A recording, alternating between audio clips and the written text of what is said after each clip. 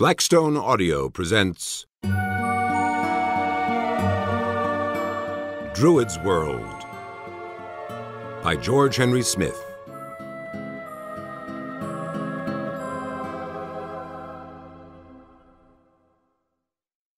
Chapter 1 Adam Max McBride stood at the window of his office in the Admiralty building and stared out at the city of Avalon.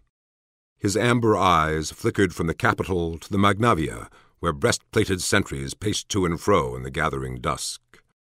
The coal gas street lamps had been lighted and sent shadows marching across the pink marble facades of the buildings surrounding the Forum, and turning the equestrian statue of Arthur Pendragon into golden life.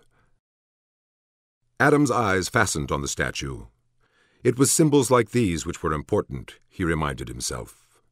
The city might be a stinking quagmire of slums and backed up sewage, its rulers imbeciles and degenerates, its people venal and weakened by illness and debauchery, but the symbols of Avalon were still powerful enough to bind men of ability and courage to the empire, as they had bound him for thirty years. But now it was over. The time had come for him to go home, home to the highlands and rugged coasts of Vineland, where the air was sweet and pure, instead of being clogged with the smell of unwashed plebeians and perfumed patricians.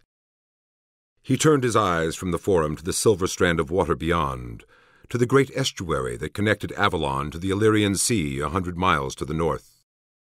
Out there, looming through the evening mist like shadowy monsters from another world, rode the ships he had built, the brave new navy he had fashioned out of the ruin of the old. Out there were the battleships and frigates that comprised the backbone of imperial sea power.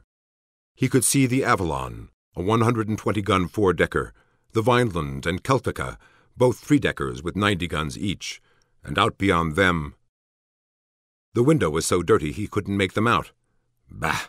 If he had the worthless lubber who was supposed to keep these windows clean aboard ship, he'd. Or was it that his eyes weren't as sharp as First Sea Lord as they had been as a midshipman? He tried to reject the thought, but a lifetime of facing reality wouldn't permit him the luxury. A heavy sigh escaped his lips. Ah, well, he said, we all grow old. Tis no only the McBride who can't see as well now as he could at sixteen. He turned back into the room and lit another stand of candles before easing himself down into the large chair that had been specially carved to hold his almost seven foot frame. He hitched it closer to the wide oaken desk he had come to hate. No, he didn't really hate the desk. It was made of wood from a Balwanian 74 he had defeated and captured off Bellicosa. Gods, those had been the days. He could still see the flat, mirror like sea with hardly a breath of air to fill his sails as he led the Avalonian battle line down on. No, it certainly wasn't the desk he hated. It was the papers, the blasted ever present papers. Adam brought his huge fist down on the desk with a thunderous crash, scattering the neat piles of reports and requisitions. His pale faced clerk poked his head in the door. Did you want something, Admiral? The man quavered. I I was just getting the invoices ready on the timber, chain shot, and. No, I don't want anything, the McBride shouted. Damn it! Why do you bother a busy man at his work? The head disappeared, and Adam picked up some of the spilled sheets. Lumber, chain, and shot. So much of this, so much of that. Salt pork to fill seamen's bellies, rum to turn their heads, sand to put out fires and soak up blood. First Sea Lord. They've turned me into a scrivener whose eyes are going bad for lack of something worthwhile to look at. Lumber, chain, and shot and how to keep the Empress and her milksop prince from appointing their mincing courtiers commanders of my battleships. Caridwen only knows what will happen after I'm gone. Some favorite will probably be made Grand Admiral, and my ships turned into floating boudoirs and gaming rooms. With an impatient hand, he shuffled through a thick stack of papers. A hundred recruits from Royal Prison at Sand Point. Fill my ships with jailbirds and appoint male ladies in waiting to command them.